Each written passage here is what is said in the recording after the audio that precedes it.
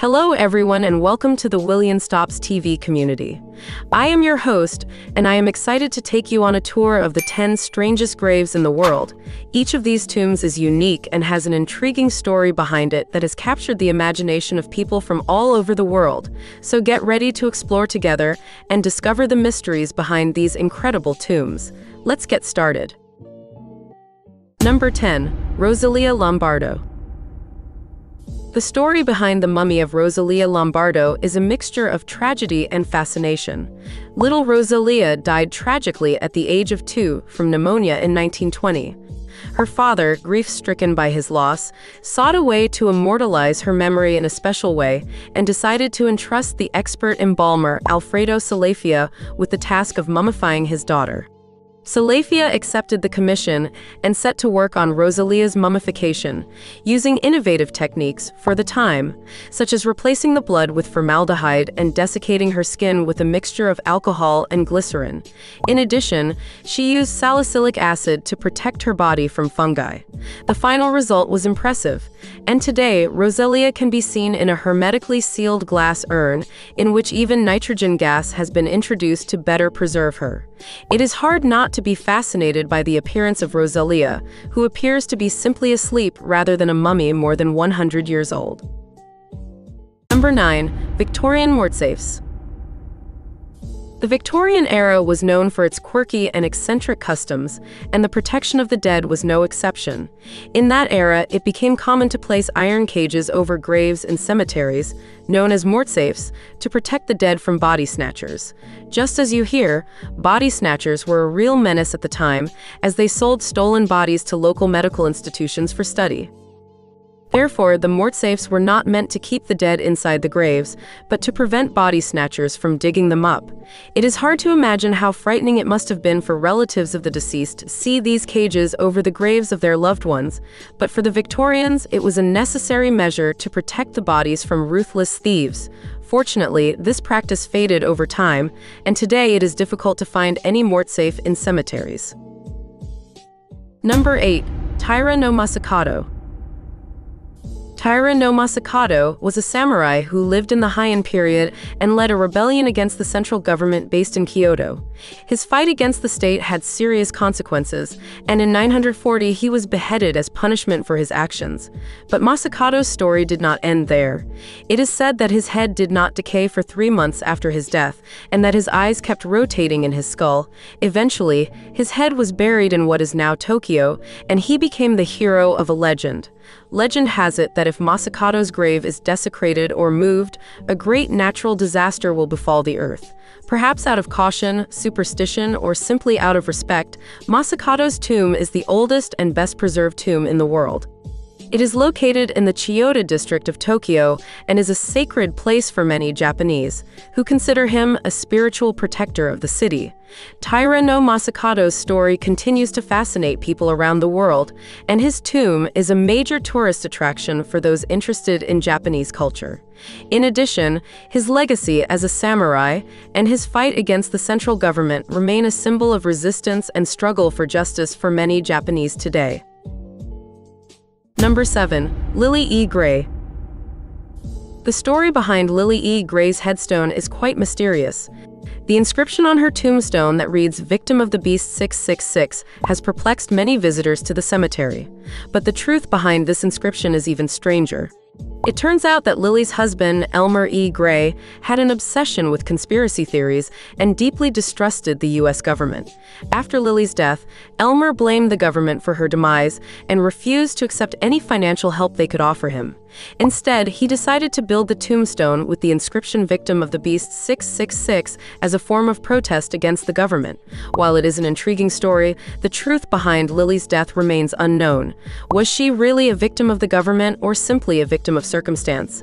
No one knows for sure, but Lilly's tombstone remains an intriguing mystery to those who visit the cemetery. Number 6. The Chase Family Crypt the Chase family crypt is one of the most puzzling mysteries in history. It is a family tomb that was built in 1805 in New Hampshire, United States, and was the final resting place for several members of the Chase family. However, beginning in 1813, the tomb began to show signs of unexplained activity. When the first member of the family was buried there, the grave diggers discovered that all of the caskets had been moved from their original position, although nothing had been stolen. Six years later, the grave was reopened for the burial of another family member, and again the caskets had been moved, including the heavy lead casket of Thomas Chase. This pattern continued each time the crypt was opened, prompting locals to gather to witness the next event. The governor of Barbados, Lord Combermere, witnessed one of these strange experiences in 1819 and ordered a thorough investigation. White plaster was spread on the floor of the crypt to detect traces of the suspected desecrators, and the walls were investigated for any secret passages. The tomb was sealed with Combermere's personal seal imprinted in the cement surrounding the door. However, less than a year later, when the tomb was reopened, the coffins had been moved again, some even upright, and another found on the stairs leading down from the door. Faced with this strange situation, it was decided that the coffins should be moved and buried elsewhere, abandoning the Chase family crypt, which remains sealed to this day. The strange events in this tomb have puzzled many and have generated all kinds of speculations and hypotheses, but the mystery of who or what could have moved the coffins remains unsolved. Number 5. Mary Shelley Mary Shelley's story is one of the most unique on the list, as it involves an unusual and somewhat macabre display of love. When her husband, the poet Percy Bysshe Shelley, died in a tragic sailing accident in Italy in 1822, Mary and her friends, including poets Lord Byron and Leigh Hunt, cremated the body on the beach. However, it is said that Shelley's heart refused to burn along with the rest of the body and was recovered by Hunt days later. Once back in England, Hunt gave the heart to Mary, who kept it in the top drawer of her desk for nearly 30 years. When Mary died in 1851, the heart was wrapped in an A4 sized sheet containing a manuscript of the poem Adonais on the death of John Keats, written by Shelley in memory of the poet John Keats. The sheet was placed in Mary's coffin along with the heart of her beloved husband. Although it may seem a strange and somewhat macabre act, this display of love and devotion is consistent with the nature of Mary Shelley, author of the famous novel Frankenstein or Modern Prometheus, which is about creating a creature from human body parts. Before we continue, don't forget to like and subscribe. We also invite you to activate the notification bell so you don't miss any of our upcoming videos. Number 4. Russian Mafia the Ural-Mash Cemetery in Yekaterinburg, Russia, is known for its graves of mobsters who died in the gang wars that raged in the 1990s. What makes this cemetery even more disturbing is that many of the tombstones have life-size portraits engraved in granite, creating a sort of gallery of mafia suspects. One of these tombs belongs to Alexander Khabarov, leader of one of the gangs of the time, who, in addition to having an imposing portrait, has a CCTV camera that ensures constant surveillance 24 hours a day, 7 days a week, all year round, this cemetery is a showcase of Russian mafia culture, where gang leaders and high profile criminals are honored in death with portraits and other ostentation on their graves. While it is a final resting place for many, it is also a constant reminder of the violence and power the mafia has wielded in Russia. Number 3. Inez Clarke Inez Clarke was a little girl who died tragically at the age of six when she was struck by lightning in 1880. Her parents, heartbroken by the loss of their daughter, commissioned a life-size sculpture in her memory.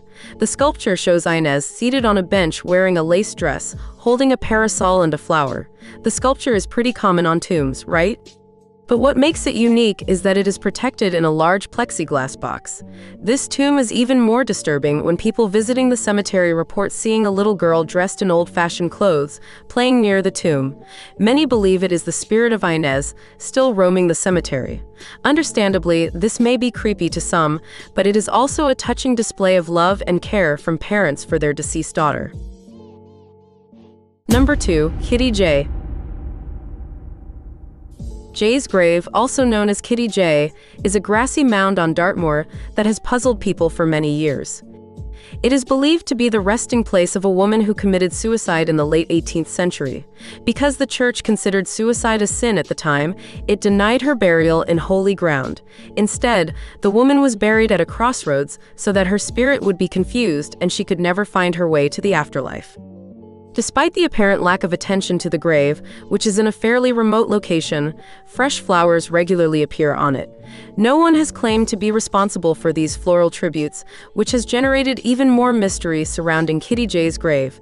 Ghost hunters have turned the site into a cult site, and there have been numerous paranormal investigations at the site.